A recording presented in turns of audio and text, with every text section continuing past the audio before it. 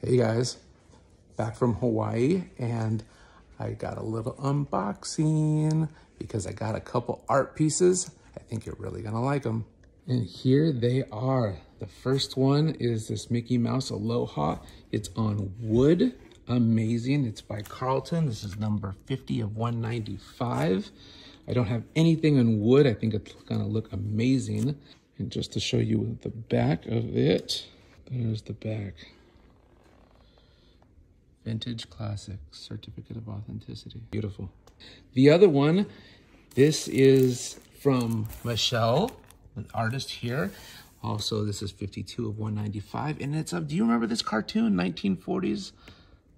Such a fun one. Tell me in the comments down below, should I frame this or should I leave it as is?